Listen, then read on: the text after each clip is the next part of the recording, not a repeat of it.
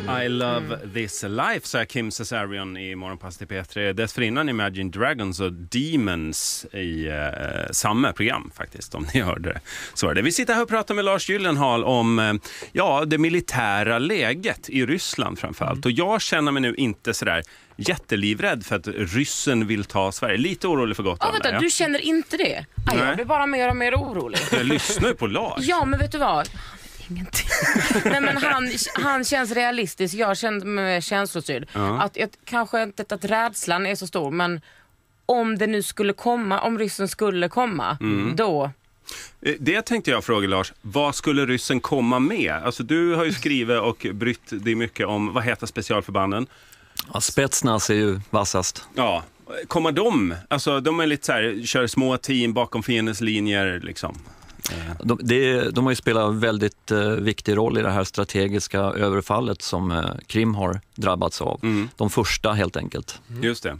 Men då tänker jag så här, hur, ve- vet man hur, hur mycket Ryssland har i försvar?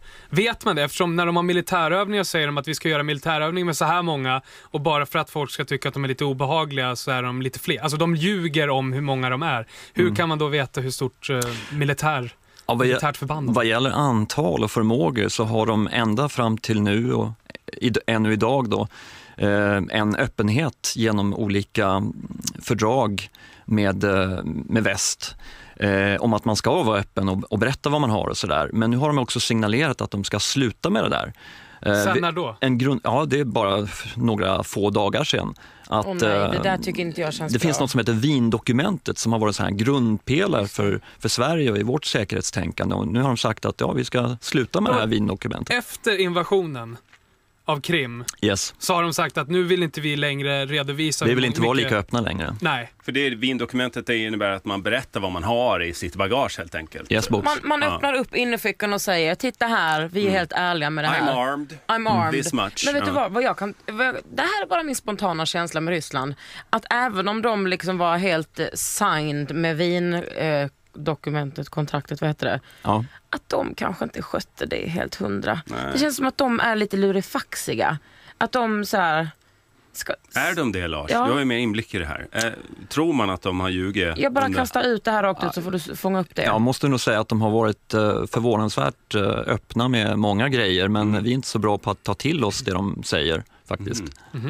Så vi har fått informationen men Ja. lagt den Vad åt menar du med det? Att vi liksom Ja, men inte är bra på att handskas så med att, informationen? att mycket av informationen som de har lagt ut på olika sätt, eh, det är inte bara på nätet då, den är på ryska. Mm. Så att eh, tyvärr är det så att kan man inte ryska så, ja, det blir som ett filter där. Men sen är det också fram tills nyss så har vi ju lite som vi har pratat om här skratt åt att ja, ryssen kommer, hela det här liksom som rysskräcken som fanns förr.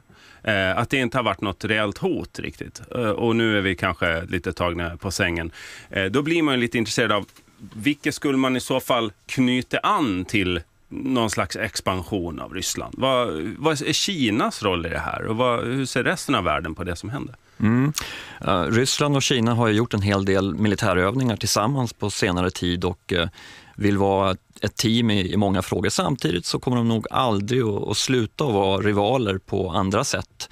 Och det finns en eh, grej som kommer att ligga kvar under lång tid framöver och det är att det är väldigt få människor som bor i östligaste Ryssland och å andra sidan väldigt många kineser som finns i närheten. Och, eh, det där är någonting som eh, det kommer inte försvinna. Så att eh, Ryssland kommer att vara misstänksamma mot, eh, mot Kina även om man fortsätter då att eh, säga att man är bästa vänner och så vidare. Men varför gör man en övning och hur ser de övningarna ut och varför gör de dem? Tre frågor.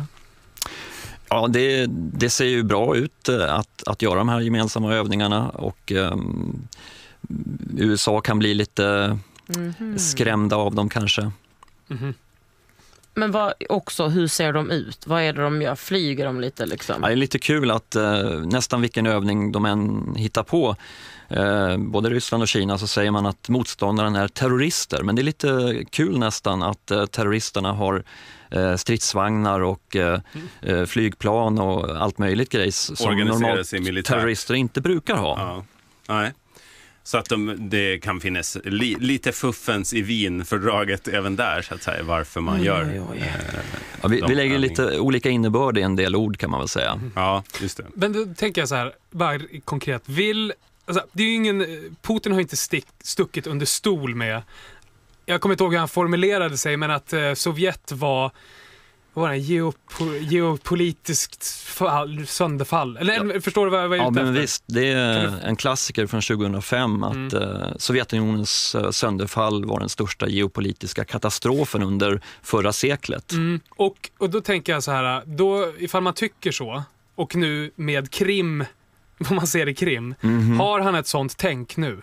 Är det dit han vill tillbaka?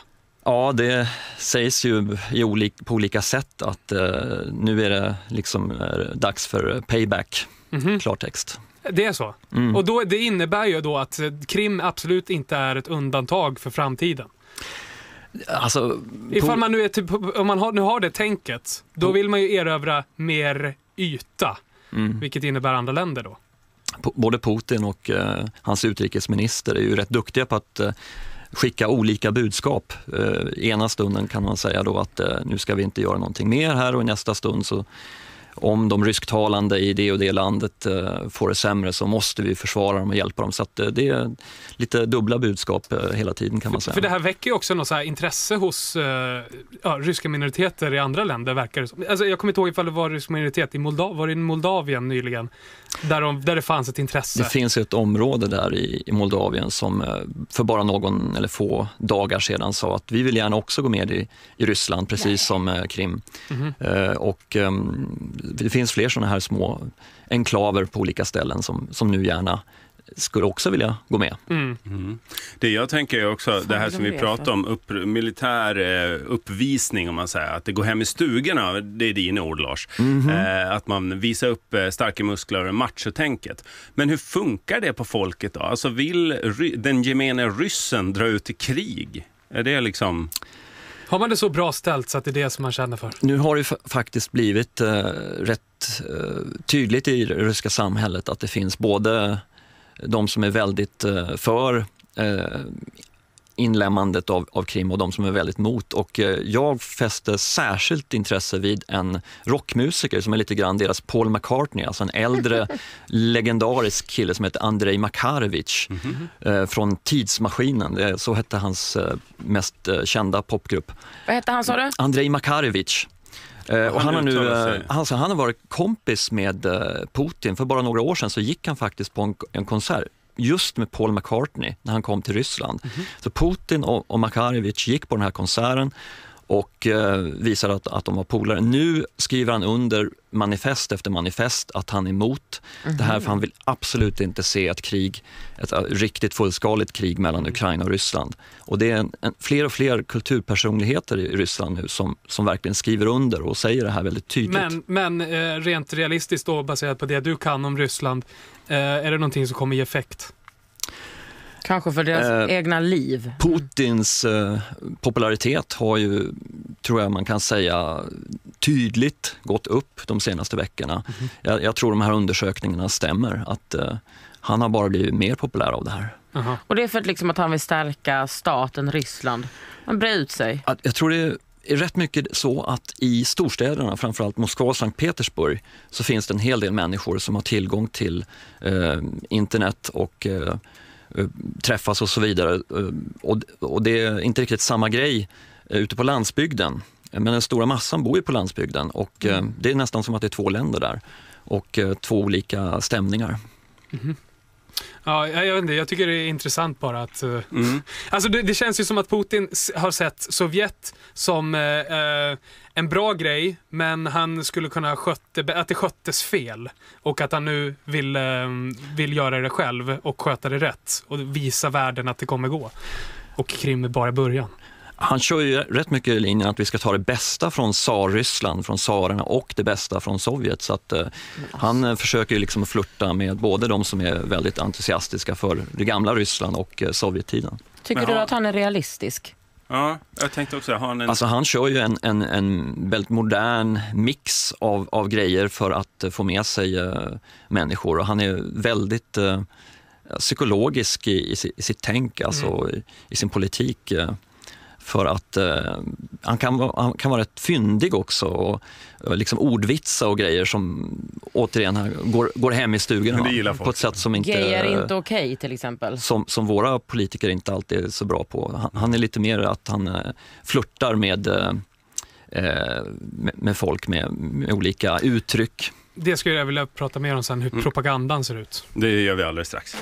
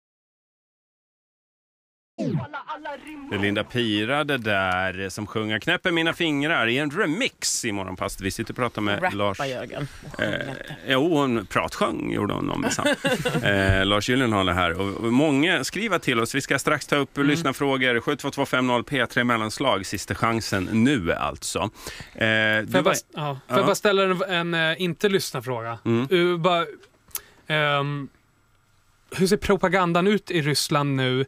Eh, är det någon skillnad på vad som sänds ut i tv och radio nu eh, än innan invasionen som hände?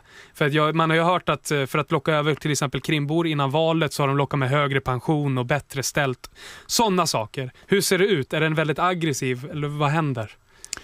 Ja, man har ju fortsatt en, en linje men skruvat upp det helt enkelt och till och med att det har smittat av sig på eh, program för barn i förskolan. Eh, så att eh, det har helt enkelt blivit mer och, och intensivare kan man väl säga. Och en hel del utgör ju då av, man visar klipp till exempel från svenska SVTs barnprogram har ju visats eh, Biss och Kajs för att visa hur degenererade vi är här i, i väst. Aha. Typexempel. Men de, Okej. de, du hade någon eh, film här också på ett ryskt barnprogram. Ja, det är lite kul. Det är Vad, är en, det, så, vad är det för någonting? Jag tänkte bara spela det är en, eh, en söt hund som eh, ställer sig frågan här för några dagar sedan vilken del av den ryska militären han ska gå med i, för han vill ju försvara sitt land. Och eh, då funderar han på lite grann, ja, vad, är, vad kan vara bäst för, för mig? Liksom? Och då kommer han fram till att eh, gränstrupperna, det är nog bäst för den här hunden. För att där finns det ju hundar och eh, det råkar då som av en tillfällighet vara en del av säkerhetstjänsten numera, så där eh, Putin tidigare jobbade. Så han genomgår någon slags mönstring för, för sig själv här i, ba- i ett Ja, barnprogram. tillsammans med eh, den kvinnliga programledaren. Vi lyssnar lite på det, så det Ja, låter. hör du då? Соловей, соловей, Дашечка. Филя, А, куда это ты собрался? э, В армию. Канареечка. Ты пойдешь в армию? Det Han låter som lilla undrar. Fudgy. Det är två stycken dockor då. En, en, en hund och en, en, en, ja, en fågel som diskuterar vilket förband man ska... Ja, precis. Det Vad är är, det det, som- det är helt sjukt. Det är ungefär som Skurt skulle sitta och diskutera det.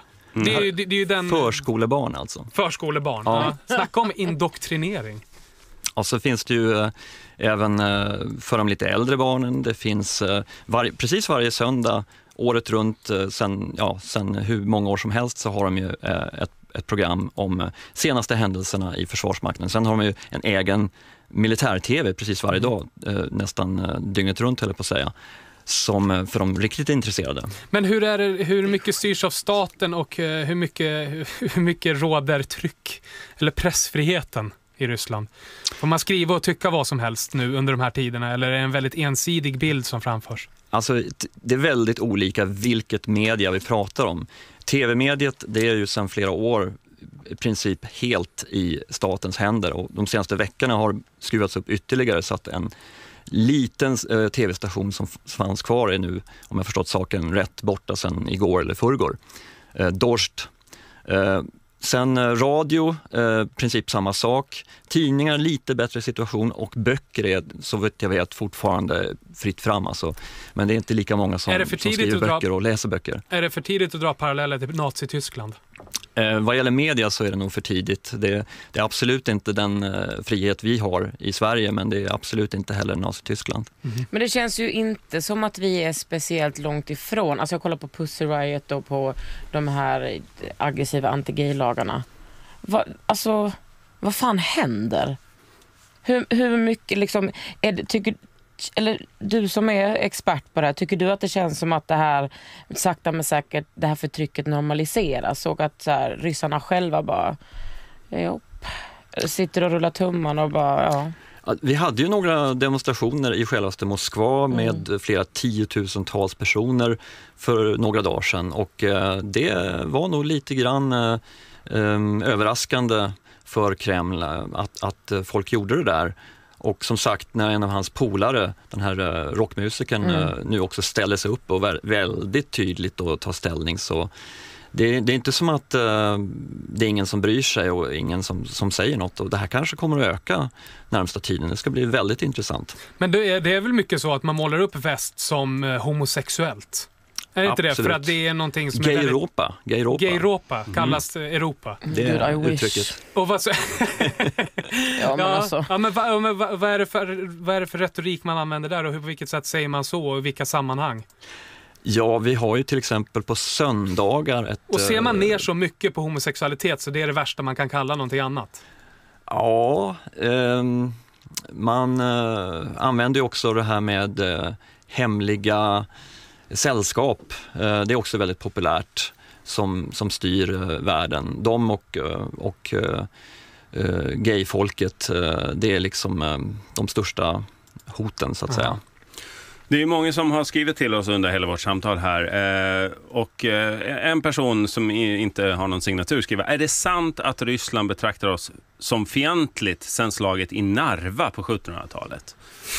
Ja, det har gått upp och ner. Det jag kan konstatera, jag har ju jobbat en del i Ryssland och eh, jag kollade i barnens läroböcker, de som var tioåringar alltså. De hade ju många, många sidor, jag minns inte om det var sex eller var det sju sidor, någonting sånt, som bara handlade om Poltavaslaget, alltså mot Sverige.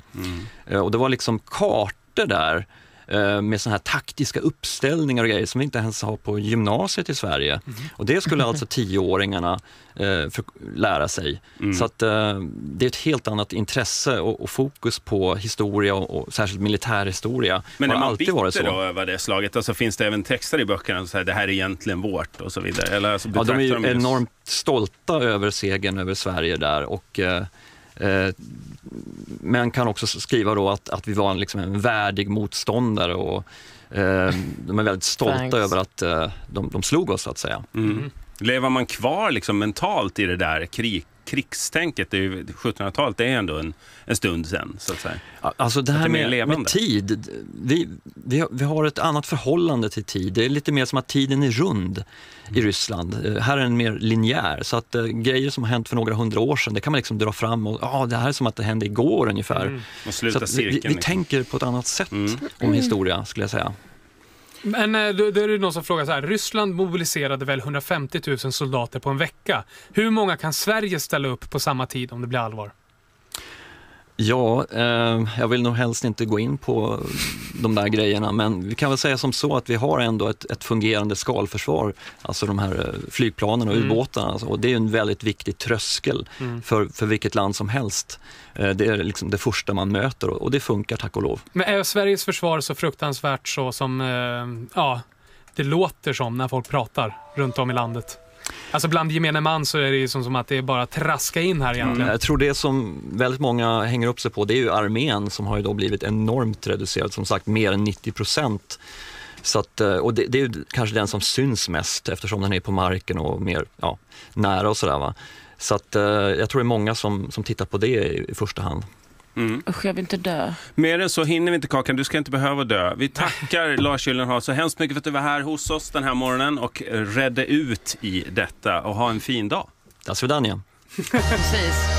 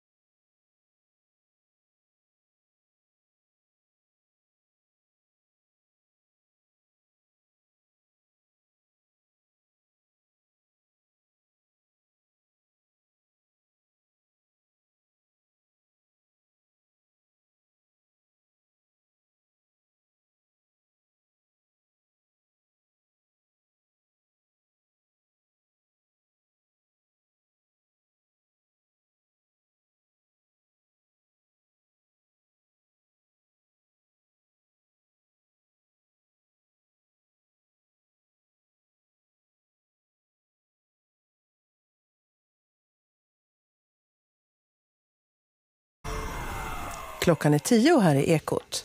Den svenska regeringen vill låna ut pengar till Ukraina som komplement till det lån som kommer från Internationella valutafonden. Ukrainas ekonomi är i katastrofalt tillstånd och lånet måste godkännas av den svenska riksdagen. Där skriver statsminister Fredrik Reinfeldt och utrikesminister Carl Bildt på DN Debatt. Vid en kollision mellan två bussar och en tankbil i sydvästra Pakistan dödades 35 personer i morse. Bussen började brinna och många passagerare brändes till döds. 30 personer skadades. Den ena bussen frontalkrockade med tankbilen och sen körde den andra bussen in i den första. FNs kommissarie för mänskliga rättigheter har varnat för att situationen i Centralafrikanska republiken är nära anarki och att våldet mellan kristna och muslimer fortsätter på en skrämmande nivå. Vår Afrikakorrespondent rapporterar från huvudstaden Bangui där läget är spänt. Efter tio månader under den muslimska milisen Selekas styre förra året har nu vreden och hämnden drabbat landets muslimska befolkning med full styrka och det ser inte ut att släppa. Hundratusentals muslimer befinner sig nu på flykt, varav många tagit sig till grannländerna. Innan konflikten startade så fanns det omkring 15 procent muslimer i landet. Nu beräknas det bara finnas 2 procent kvar. I Bangui finns nu Philippe Bolopion från människorättsorganisationen Human Rights Watch som menar att landets politiska ledare har ett stort ansvar för att situationen inte har blivit bättre. Uh, there are still very serious crimes uh, going on in the country and that they have uh, a responsibility to do whatever is in their power to uh, end them. Det begås fortfarande grova brott här i landet och regeringen har ett ansvar för att göra allt den kan för att stoppa våldet, säger han. Rickard Myrenberg, Bangui, Centralafrikanska republiken. Antalet anmälda villainbrott ökade förra året med 11 procent jämfört med året innan. Dessutom stiger värdet på det som stjäls. Tjuvarna har blivit effektivare och väljer ofta bostäder där det finns mycket kontanter och smycken. Det här visar sammanställningar som branschorganisationen Svensk Försäkring har gjort. Atlasskolan på garnisonsområdet i Linköping brinner sedan sjutiden i morse. Det brinner på vinden i fyravåningshuset och branden är inte under kontroll. Men enligt räddningstjänsten finns det ingen risk för att elden ska spridas till andra byggnader. Brandorsaken är inte känd. Idag får stora delar av landet lätt eller växlande molnighet och tidvis soligt. Men västra Göta och Svealand får tidvis molnigt. Över Jämtlands län och norra Norrland rör sig molnområden åt nordost. Norra Lappland får snöfall som avtar efterhand. Och temperaturen varierar från mellan 5 och 10 plusgrader i söder till mellan 5 och 10 minusgrader längst i norr. Ekots nyheter. Jag heter Gunilla Hansen-Bering. Det här P3. Sveriges Radio. Vi älskar, älskar ny musik.